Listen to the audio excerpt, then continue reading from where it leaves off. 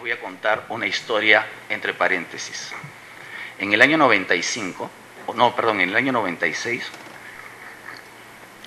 estuve por una cuestión de trabajo en Amotape y nos recibió el alcalde. Y el alcalde me llama y me dice, te voy a enseñar a Simón Rodríguez. Yo en mi, en mi blog tengo la foto. Me abrieron el féretro y ahí estaba Simón Rodríguez. Me dijo que se habían llevado a otro, que ese era el verdadero.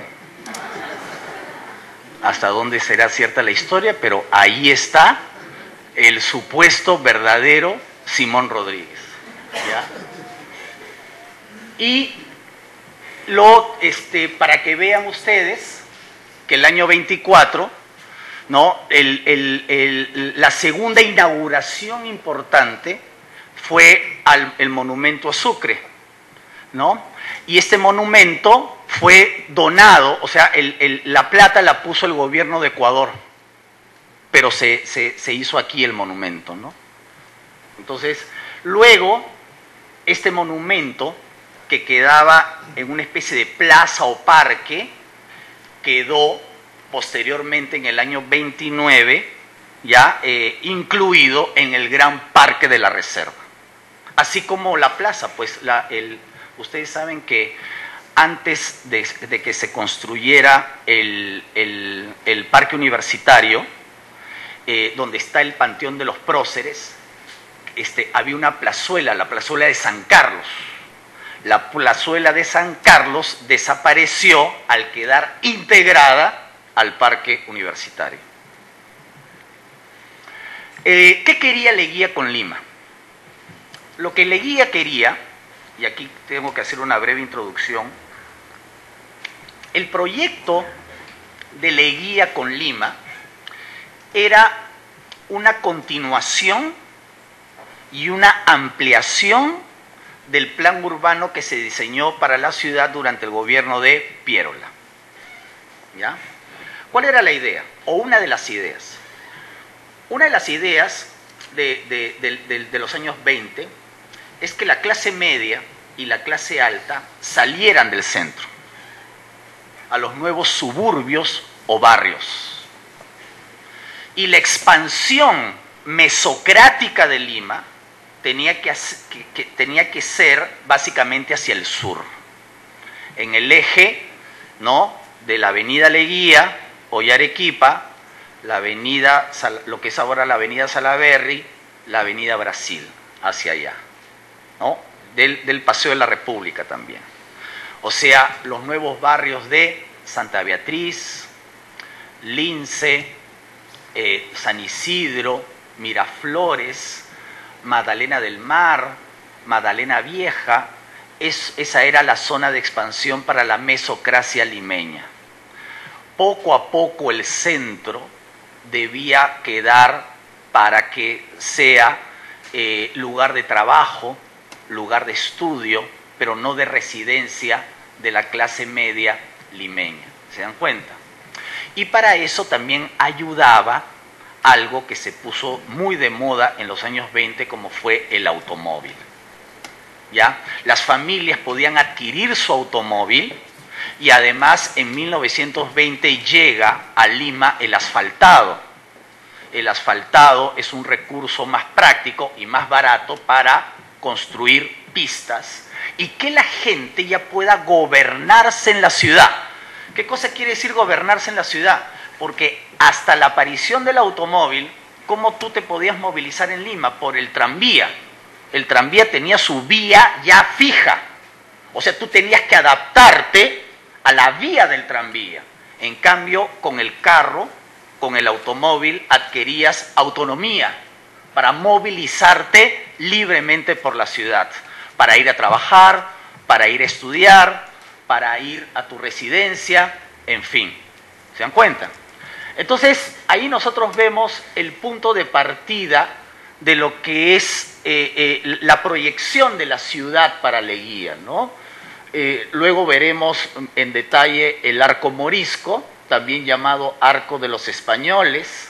Leguía construye la avenida Wilson, abre la avenida Wilson Y aquí vemos pues la zona de expansión de la Lima mesocrática hacia el mar. La Lima de los artesanos, la Lima de los obreros, era la Victoria convertida en distrito por Leguía en 1920 y el RIMAC también convertido en distrito por Leguía el mismo año, en 1920. Pero también la Lima obrera tenía que expandirse a través de otro eje, los ejes de, las, de la avenida Progreso, hoy Avenida Venezuela, y sobre todo la avenida La Unión, hoy Avenida Argentina. Entonces, eh, antes, vamos a decirlo, hasta 1920, casi todos vivían en Lima, juntos pero no revueltos, porque al lado de una casona podía haber un callejón o una casa de vecindad. ¿Se dan cuenta? Pero a partir de 1920, bajo este influjo leguista, que dicen que fue el mejor alcalde que tuvo Lima en toda su historia, ya, eh, ya empieza la división social o socioeconómica por barrios o por distritos, o barrios que luego se convierten en distritos. Hay una famosa anécdota de, esto se los cuento viendo la siguiente, ahí está la avenida Leguía. La avenida Leguía en realidad empezó a ser proyectada en 1917 durante el gobierno de Pardo, pero Pardo no la hizo. Y en parte, yo creo que Pardo no la hizo porque la mayoría de sus amigos tenían sus haciendas y sus fondos por allí, porque para abrir la avenida tenías que expropiar. ¿Te das cuenta? Y Pardo no tuvo la decisión de firmar las expropiaciones. Leguía, ya sabemos cómo era Leguía, ¿no? Leguía no estaba casado con nadie, entre comillas, y él decide la expropiación. ¿Ya? Cuando Leguía decide la expropiación, Moreira, que era dueño de la hacienda eh, San Isidro, junto con otros propietarios, va donde Leguía. Se presentan en palacio y comienzan a decirle que cómo, que va a expropiar, seguramente Leguía pues los, los escuchaba por su mente, pues estos no saben ni lo que están diciendo.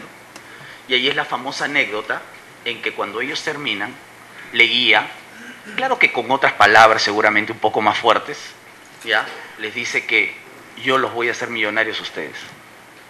Porque uno de los grandes negocios durante la Patria Nueva fue la especulación inmobiliaria, pues. ¿No?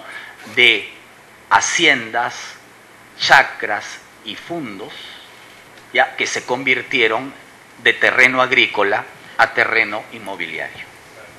Es decir, lo que estos habían heredado por hectáreas o por fanegadas, el gran negocio fue venderlo por metro cuadrado, ¿me entienden?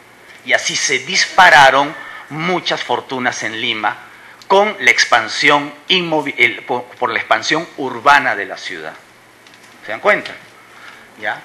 Aquí tenemos la, este, una imagen de la avenida Leguía, eh, en el, este, además, además no solamente, bueno, en este momento no me acuerdo pues de, las cifras, la, pista tenía que tener eh, tanto de ancho y, se dio la norma de dejar este, un espacio para el jardín delantero, ¿no?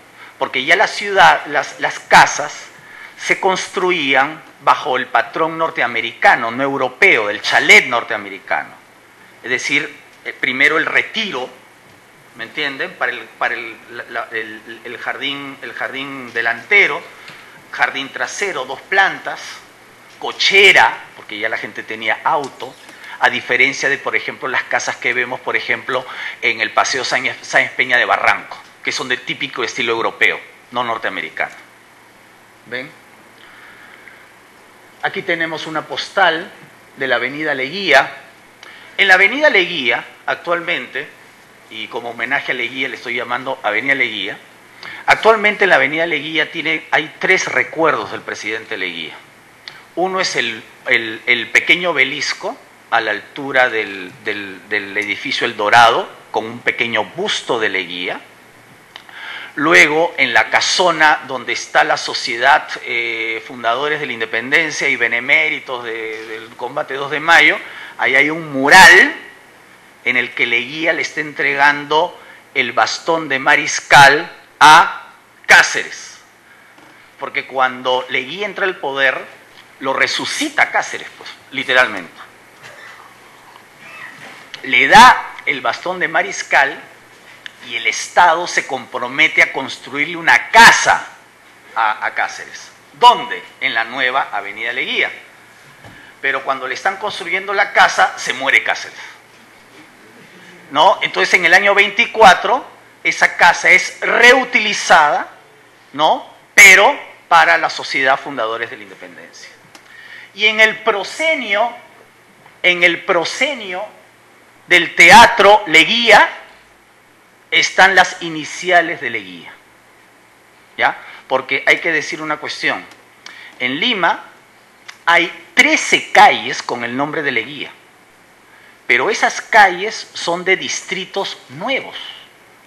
No, no, son distritos que tengan que ver con Leguía. O sea, en los distritos tradicionales de la ciudad o de los distritos históricos o centrales de la ciudad no hay ninguna calle o avenida que lleve el nombre del presidente Leguía.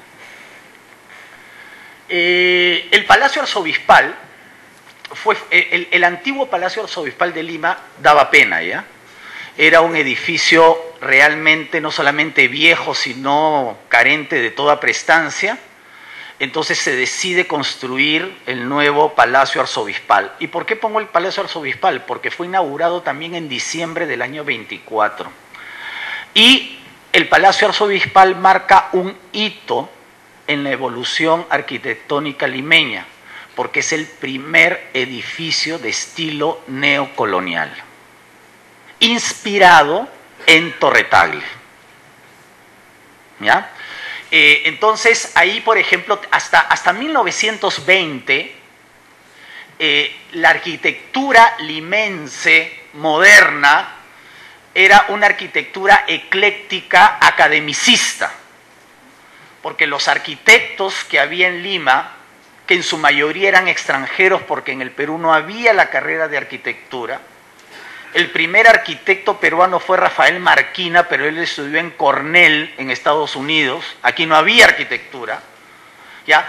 Todos esos arquitectos estaban muy influenciados por el academicismo francés de la Escuela de Bellas Artes de París. Entonces, la Lima moderna ¿no? La Lima de, 1890, 95 hasta 1920 era una Lima que trataba de imitar la arquitectura europea, digamos, cosmopolita, porque además la élite quería pues, que Lima se pareciera un poco a París. Entonces, eh, este edificio marca un hito en la evolución arquitectónica de Lima, porque como todos ustedes saben, el estilo neocolonial va a tener mucho éxito va a tener un éxito de casi 30 años. Porque, por ejemplo, cuando vemos la Plaza San Martín, tiene algo, pues, ¿no?, de este eclecticismo hispano, pero la Plaza de Armas, los portales de la Plaza de Armas, lo, que es, lo que es la municipalidad, el Club de la Unión, todo es de estilo neocolonial. Y si ustedes se han paseado por Lima, en, en, varios distritos tradicionales en Lima, ya lamentablemente muchas las están tirando, hay casonas de estilo neocolonial. ¿no? En cambio, un estilo que no pegó definitivamente, porque no vemos, no vemos este, muchos ejemplos en Lima, es el estilo neoperuano. ¿ah? Es, no, hay que llamarle neoinca, mejor es llamarlo neoperuano, porque si ustedes ven el Museo de, de la Cultura, hay estilo inca y estilo tiahuanacoide o tiahuanaquense.